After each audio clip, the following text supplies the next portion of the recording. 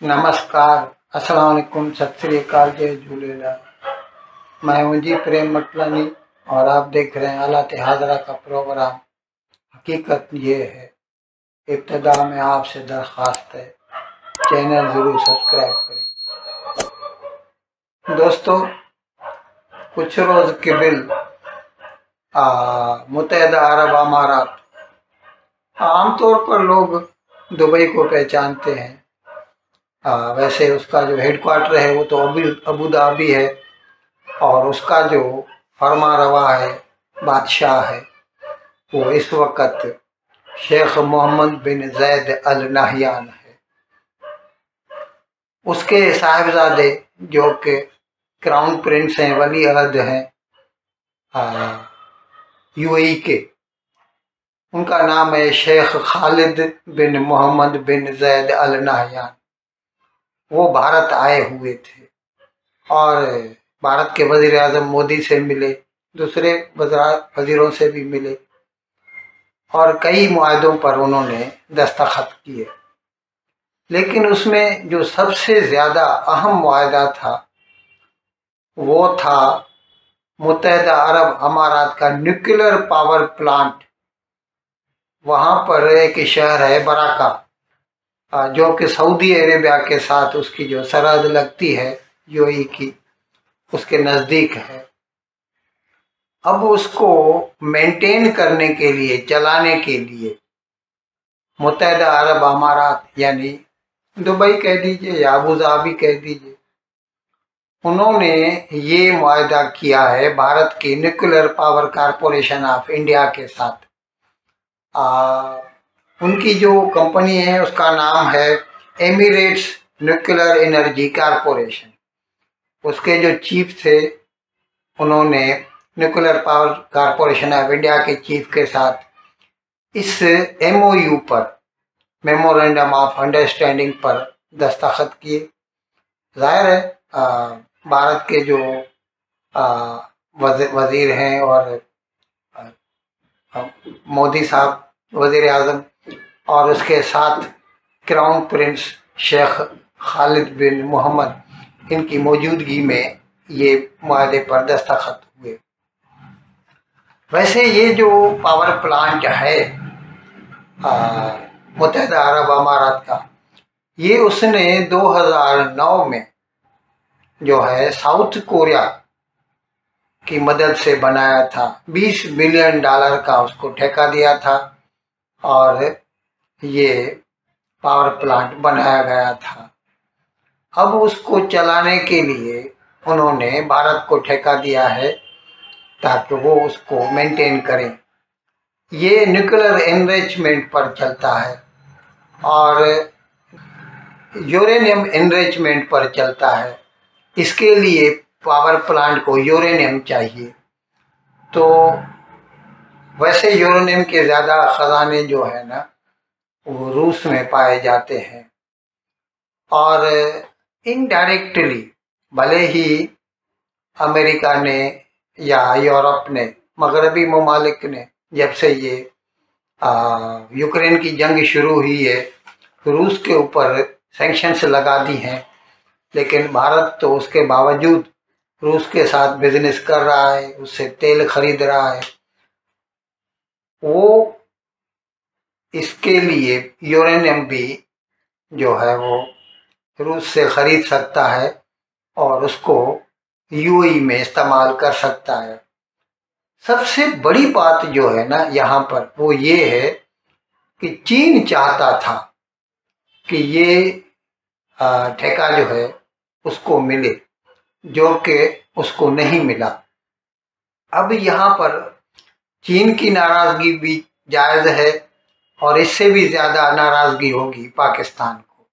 क्योंकि पाकिस्तान को तो एक आँख नहीं भाता कि कोई भी मुसलमान मुल्क हिंदुस्तान के साथ किसी भी किस्म का ताल्लुक रखे।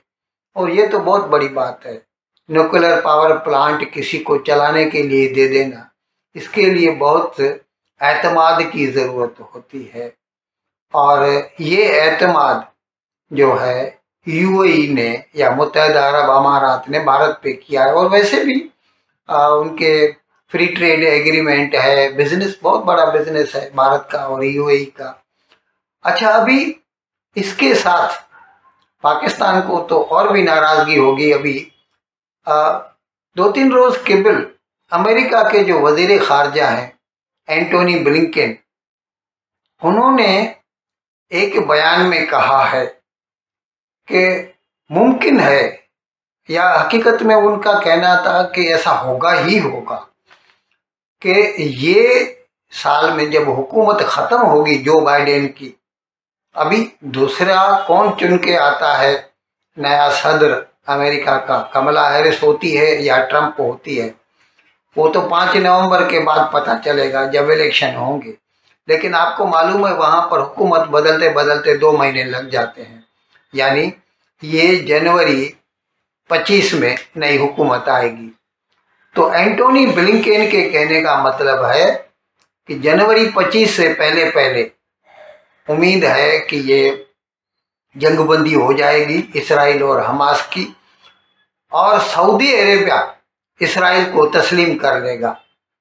और ये सबसे बड़ी रुकावट थी आई मेक में। यानी India, Middle East, Europe, economic corridor.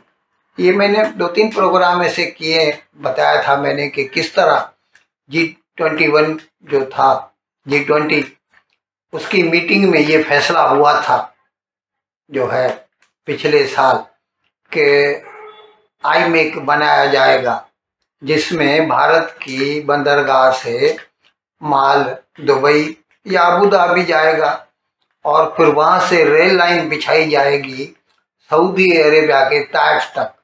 और ताइफ से फिर दूसरी रेल लाइन जाएगी हैफा तक। हैफा बंदरगाह जो कि इसराइल की बंदरगाह है और मेडिटेरेनियन पर है वो।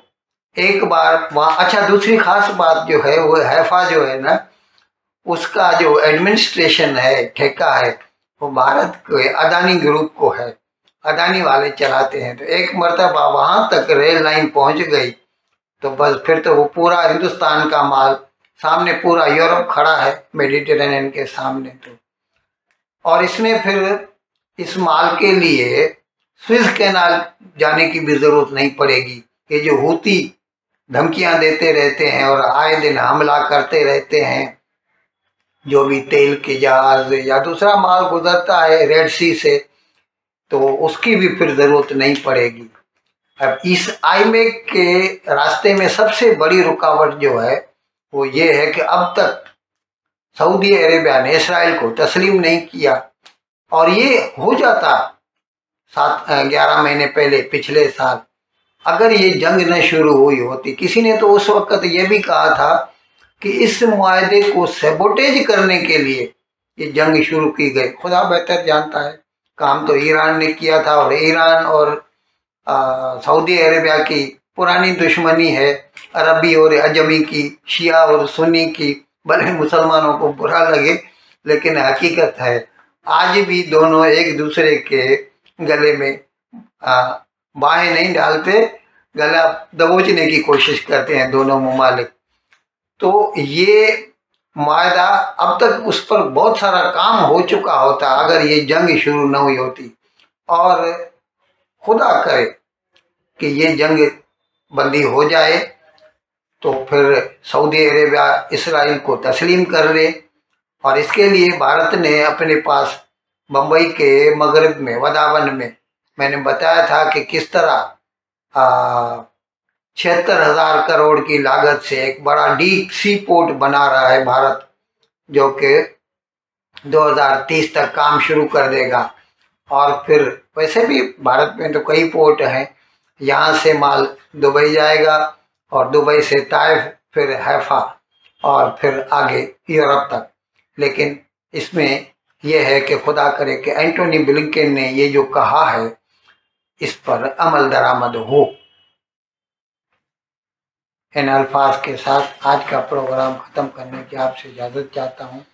लेकिन विदाई लेने से पहले एक मरतबा फिर आपसे मेरी दरख्वास्त है कि जिस किसी साहब या साहबा ने अब तक हमारे इस चैनल को सब्सक्राइब नहीं किया अजरा करम, इसको जल्द से जल्द सब्सक्राइब करें, प्रोग्राम को लाइक करें, शेयर करें और घंटी का बटन दबाना ना भूलें। बहुत बहुत शुक्रिया। खुदा